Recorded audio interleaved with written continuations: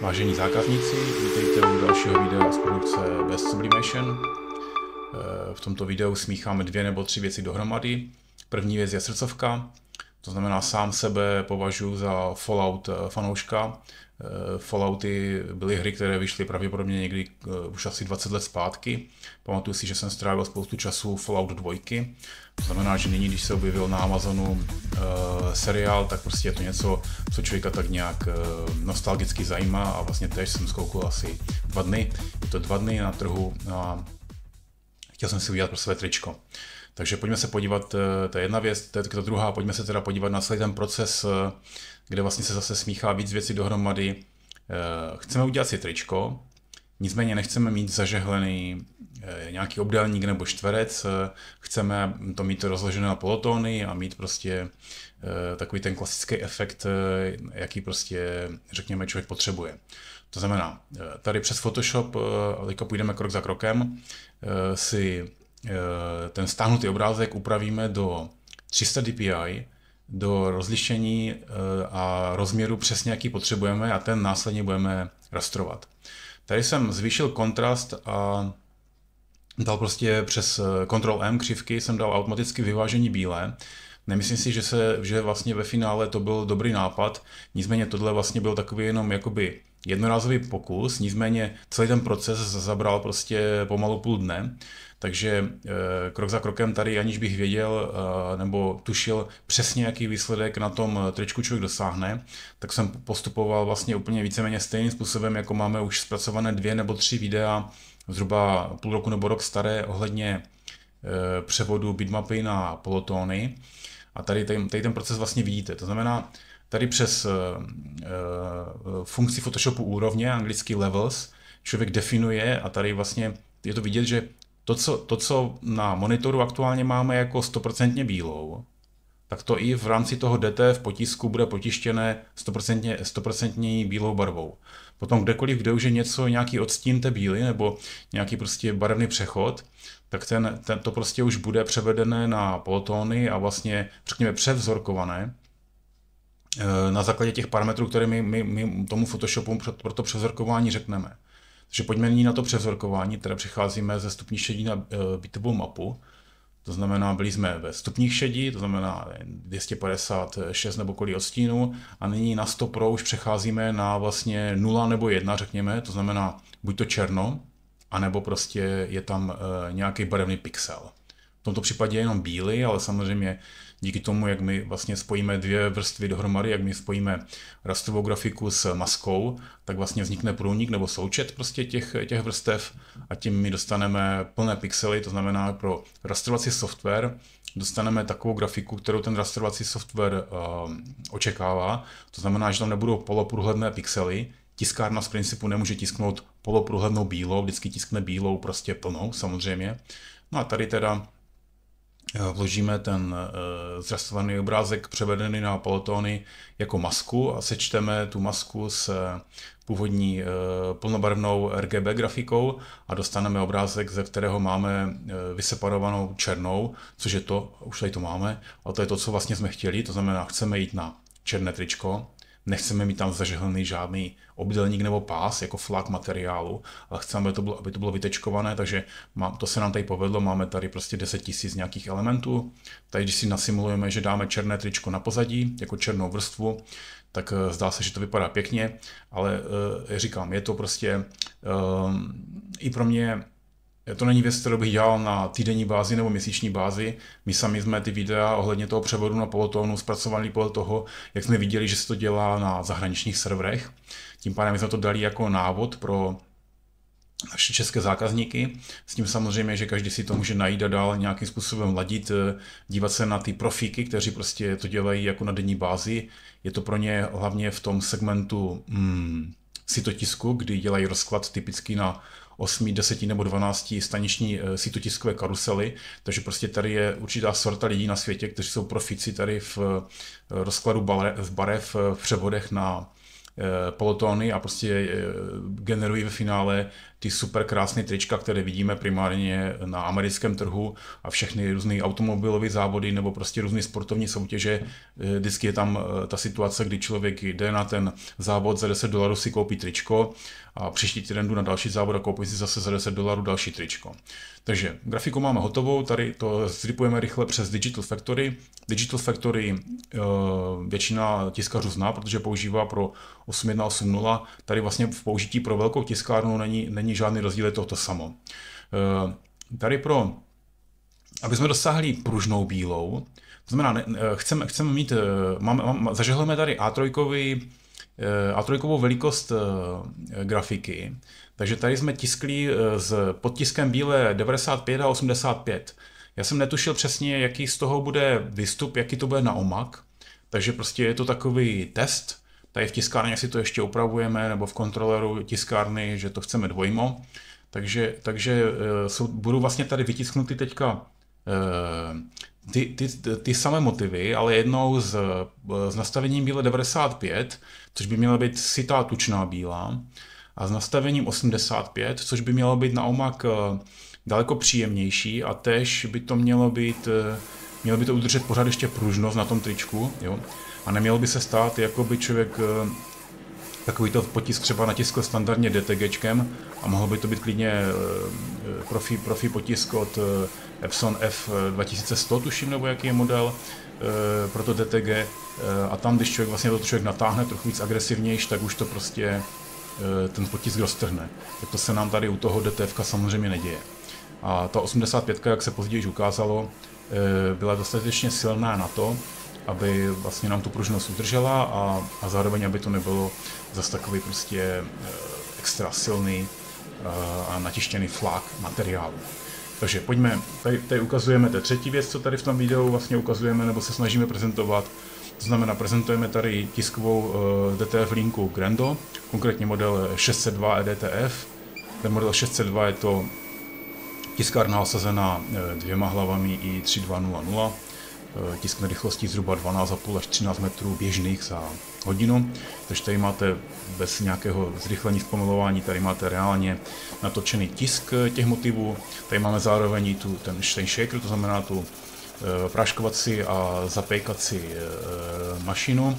Takže jedeme tady na, na tiskárně, máme na vstupu střed i na výstupu máme nastavených 30 stupňů jako předehřev, eh, mohli bychom tam mít trochu víc, máme to prostě aktuálně takto, na vstupu do zapekače máme 60, potom to vlastní zapečení ehm, toho potištěného DTF filmu je na 120 stupňů Celsia.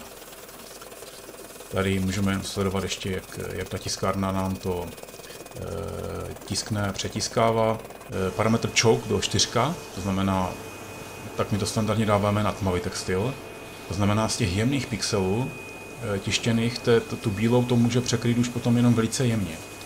Eh, potom v, v, v průběhu a v závěru videa potom bude vidět na bavlněném tričku detailnější, eh, jak velice jemné elementy jsou natištěné na tom, na, na tom tričku. Otázka je, jak to vydrží proti seprání. Prostě my se setkáváme sem tam s tím, že někdo nám posle, pošle na vytisk velice jemné linky, které mají prostě třeba jenom půl milimetru a ono to krásně vypadá na monitoru, e, i, i vlastně se to normálně standardně vytiskne. Nicméně druhá věc je, pokud člověk tiskne takovýhle e, super jemný e, grafické elementy, druhá věc je, jak, jak moc nebo jak málo to bude na tom tričku ve finále držet. Protože my jsme zhruba potom už na úrovni samotného rastru úpletu toho bavlněného trika. Znamená, že u toho DTF člověk musí prostě uh, uvažovat tím způsobem, že se to musí nějakým, uh, nějakým způsobem prostě nalepit nebo přilepit uh, vůči, tomu bavlněnému vláknu. To znamená, že není možné tisknout jenom čistě super tenké linky, je potřeba, aby ten materiál, ten potisk byl více lítý, aby to prostě mělo na čem držet. Takže tady máme už na výstupu uh, hotový transfer. Tady ještě ta tisková dávka byla trochu delší, takže se tu tiskly ještě nějaké další věci, ale Eh, to zase jenom tady ukazujeme jenom pro zajímavost. Tady vlastně to, zape, za, to zapráškovávání s vrtulkou, která do toho neustále prostě hňápe. To znamená, ten prášek i tady je jemně předehřívaný. Eh, ta vrtulka se postará o to, aby na tom médiu vlastně nebyly žádné zbytky rezidu a toho prášku. Zároveň tím, že vlastně ta tiskárna tiskne celkem rychle, a to je ještě pořád poloviční rychlost třeba oproti čtyřhlavým strojům. Čtyřhlavé stroje tisknou v rychlosti zhruba 22,5 metru běžných za hodinu. Takže tady jsme zhruba na polovině. A z, z těch čtyřhlavých to teda opravdu letí a je tam extra velký e, tiskový výkon. Takže tady díky tomu, že e, vlastně okamžitě to jde na, na, na to, už tam je ten předehřev a je tam je, už řekněme rychle to zatuhnutí té bílé a okamžitě zapráškování a tak dále. To znamená, tady u těch strojů se nám neděje to, co se děje třeba běžně u A3, že um, ta tisková hlava, když jezdí, tak ona roztahuje vlhkost, eh, ten posun je, řekněme, pomalej, tak ta hlava nám roztahuje vlhkost eh, toho tištěného motivu zleva zprava. A tím pádem potom při ručním zapráškování, a též je rozdíl ruční, anebo když nám do toho boukne vrtulka, řekněme, já nevím, stokrát za minutu, tak při tom ručním zapráškování se často stane, že to lepidlo, ten prášek, že ulpí na těch velkých místech. To znamená, tady u těch velkých mašin díky tomu, že se tiskne extra rychle, a že tam je několik stupňů vlastně předehřevu, eh, tak eh, ta bílá vlastně, pardon, ta vlhkost se eh, nemá šanci projevit a tím pádem na, na těch volných místech nebo místech, kde se prostě na tu folii netisklo, tak v žádném případě žádné zbytky toho prášku nebo lepidla neulpí, nebo by neměly. Takže tady, tady máme teda už ty vytisky vytis, z cmyk je standardní cmyk, tam, tam se na to vlastně víceméně nešahalo, a tu bílou máme jednou v síle 85 jednotek, v, dru, v druhém v druhém, v druhém výtisku máme ze sílou 95 eh, jednotek.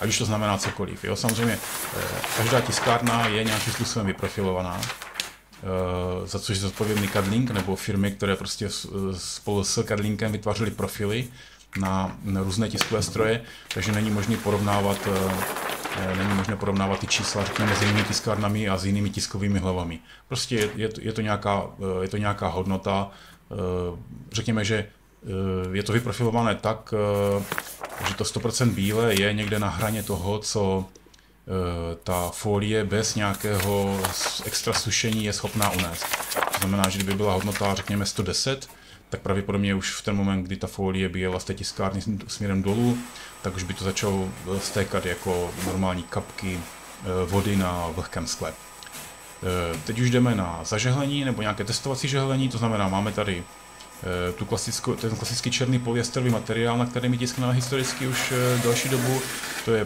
to je stanovina plachtovina, teoreticky se z toho vyrábí, já nevím, pivní stany nebo prostě takovéhle aplikace, je to pogumované, je to odolné vůči vodě. Ten eh, transfer na ten polyester je velice rychlý, tady máme nastavený termolíz na 140 stupňů a ten transfer děláme jenom 3 sekundy. Kdybychom to nechali třeba 10 sekund, tak vlastně se nám to úplně už zvlní. Další věc je, co v poslední době dost často komunikujeme se zákazníky, že v tomto případě, kdy vlastně ten termolíz je čerstvě za, eh, zapnutý a je samozřejmě vyhrát, vy, vyhřátý na těch 140, eh, tak ty silikonové gumy, které jsou pod tím modrým materiálem, nejsou vyhřáté.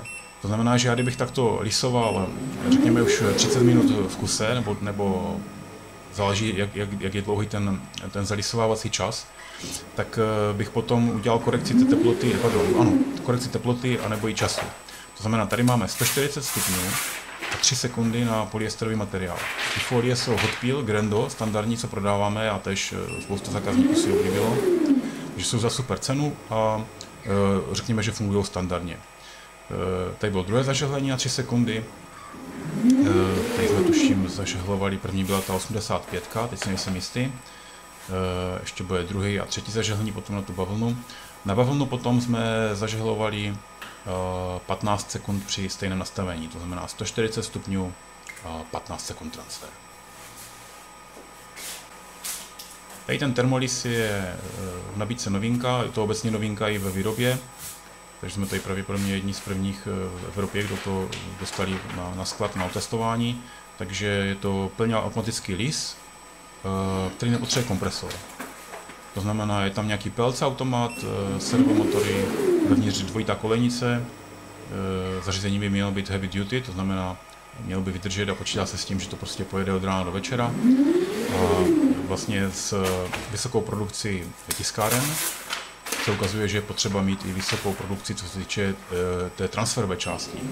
To znamená, aby specifických firm, kde si to, tiska, si to tiskaři a tak dále, kteří tisknou od rána do večera a vlastně v dnešní době potom listují od rána do večera, tak je potřeba nějaký automat nebo polautomat potřeba.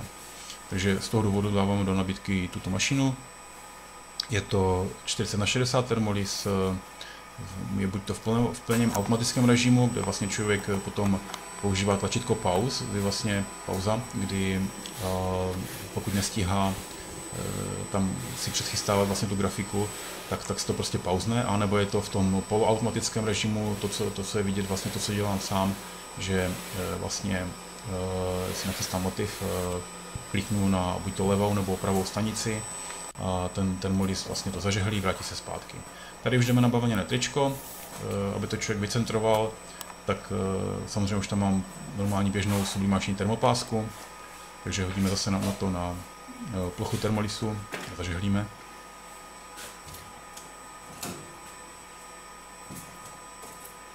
Tady v tomto případě znovu opakuju 140 stupňů a 15 sekund transfer folie hot takže vlastně sundávat budu okamžitě.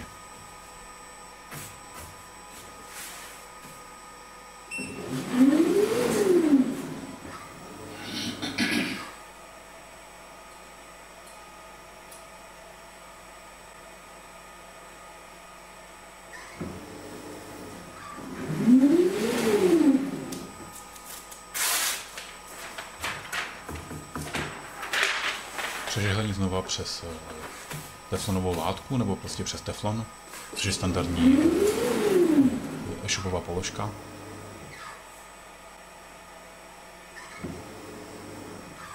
No a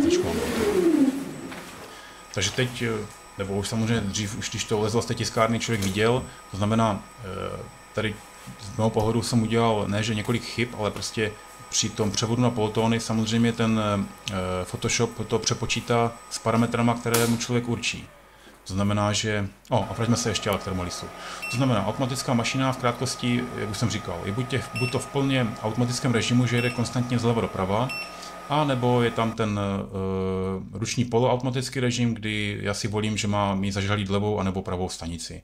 V případě full auta, tak prostě mám tam pauze, kdy prostě si člověk stopne kdykoliv, kdy potřebuje, nestíhá nebo nemá to prostě ještě připravené, Eh, na to zažehlení. Takže tady ještě znova máme zleva zprava o té 85, 95 jednotek bílé, no procent a eh, vpravo bavlněné tričko.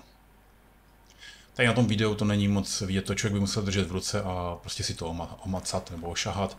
Tež prostě si zkusit to tričko natáhnout a vidět, jak funguje vlastně ta roztažnost, jak, jak, jak, jak moc stretch nebo málo stretch to prostě je. Tady když se podíváme ještě z detailnější s pravítkem, tak je vidět eh, ten raster toho bavlněného opletu. Jo? A když se podíváte, tak ty tečky jsou prostě některé třeba jen 3 desetiny milimetru. To znamená, to je prostě super extra jemné, což řekněme dovnitř do té grafiky OK. Z té zvětší strany, aby mi lépe vypadal ten efekt dostracena, tak tam bych, bych to příště asi, nebo kdyby něco podobného mělo jít na normální jako komerční prodej, tak, eh, tak prostě u podobných typů grafiky bych eh, prostě zvolil eh, větší hrubost, aby to bylo trochu hrubější a ne, ne tak extra jemné. Toto je prostě zbytečně moc jemné. Takže tolik, tolik mix jakoby fanouška Falloutu, DTF grafiky nebo přípravy grafiků pro DTF, DTF tisku a DTF zažehlení. A tady ještě vtečeliška ze Zlína, tričko s potiskem.